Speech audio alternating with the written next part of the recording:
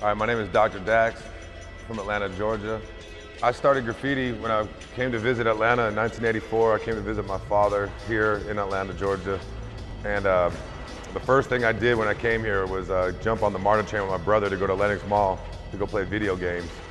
And on the way to the mall, I was looking out the window and I'd seen the first graffiti being the Five Kings and Sparky Z and Sir Leon. And when I saw those things, I didn't know what they were, but they definitely gave me like goosebumps and sparked a fire inside me. And I asked my brother what it all was, and he told me that it was graffiti. And uh, man, I just I became obsessed from then. And then in '85, I got to move to Atlanta, and I started pursuing actually drawing it. And then by the '90s, I was actually doing it. I'd say I'd say I got my style when I was pretty young, you know. Looking at Sir Leon and all those guys, I didn't really realize how much influence they had had from New York at the time, but I'd influenced from them so much and channeled so much of that energy. And uh, I pretty much knew right off the rip where I wanted to go with it. And uh, unfortunately, in the, in the early 90s, style style changed from like traditional graffiti into like very teched out art school, um, lots of character building. And uh, I always like really stayed true to the letter form and it's kind of come full circle now in the 2000 teens. And uh, that's why I'm here right now, I think. I think I've finally come full circle in my thing, you know? For many, I've gone through many years of like a roller coaster ride of like what I do being cool and not cool. And now it's kind of hit a peak of being like, it's like the shit now. And um, I guess I'm at the forefront of it now, be, being the one who's lasted the longest around here. Me being me and Save, being, being Atlanta writers that are developed in Atlanta as children to now.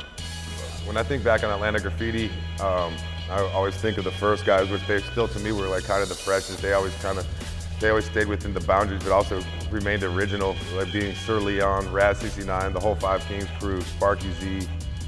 Um, and then later, you know, spawning people like me and Save. And then people who spawned from that would be like Juan Two.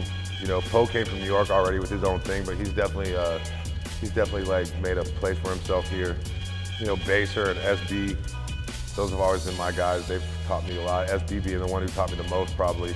I, consider him my sensei.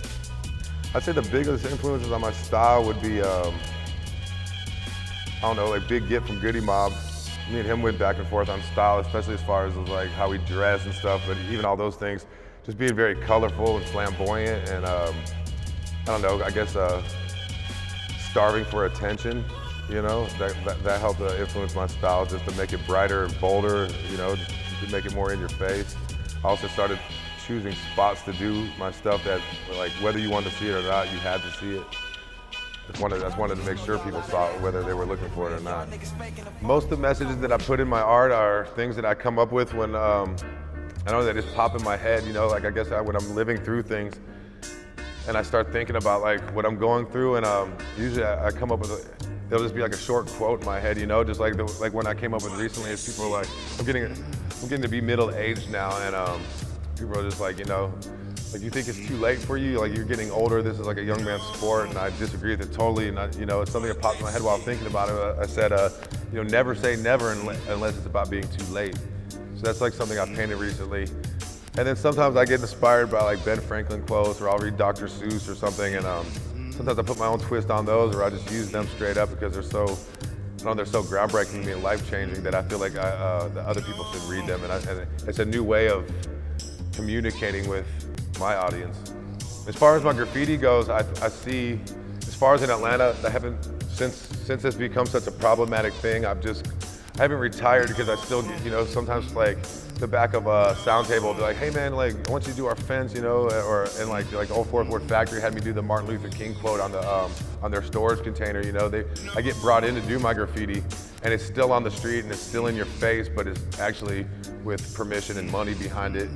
And um, I see the more that I've become successful, and the more I still thrive to want to be on the streets, I want to approach. Uh, I think the more I build my name, the more acceptable I'm becoming to Atlanta and people wanting me to be on their stuff instead of forcing my stuff and doing it illegally. I can just go and approach people like, hey, I really like your, your, your wall. Can I do my thing here? And I see this in the near future. I feel like I can paint on anything I want with permission now, which has kind of always been my goal is to paint on these spots and not necessarily be, be a jerk and and vandalize their things out of a rebellion, but just like the just the need to express myself and, and this being the best place for what I'm trying to uh, put out here being this spot. So I think that the, the more I build my name and I, and I become a, an outstanding member of these communities, that they'll, they'll be accepting and allow me to do whatever I want. And then as far as um, my art goes in galleries, I just want to, I would like to move into doing three-dimensional wood sculptures and uh, even do large abstract uh, pieces. I just, I would like to keep developing my art for galleries and, uh, and at the same time, I would like to, uh, my presence on the streets to be more. I try to change the world by leading by example. You know, you can try to beat beat ideas and um, your ways into people, but you only it only uh, takes takes them further away from whatever you're trying to change. I try to change the world with positive messages and also leading by example racially. You know, make money, be friends with uh, other races, have racial harmony. When people see you together with your friends and you build crews of people of, with, of uh, many races, I think the people who don't like that, they look at it and they're like, wow, we're really missing out on something because, you know, gay people have stuff to offer, black kids, I don't care what race you are, everybody has something to offer. And when you join forces, man, it, it, it goes so, it goes, you take yourself light years ahead and, and the people with you. And I think the people who sit back and hate that, they look at it and they might, I, I think you change people's minds, at least, at least, at least one person. But uh, I've definitely noticed that people who used to be against it have, uh, they've conformed and they've, they're getting with the times.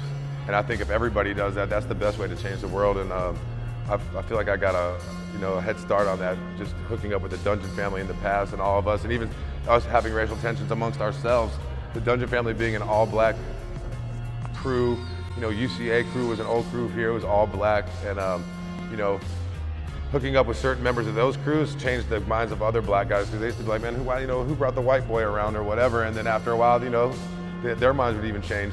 They started saying how I put stuff on the table and we put stuff on the table together and how we moved forward and for the better. And um, instead of arguing, man, just don't even talk to people about it. You should just lead by example. If you have an idea, show everybody. Don't tell them about it. Most people can't hear anything. They got to be shown.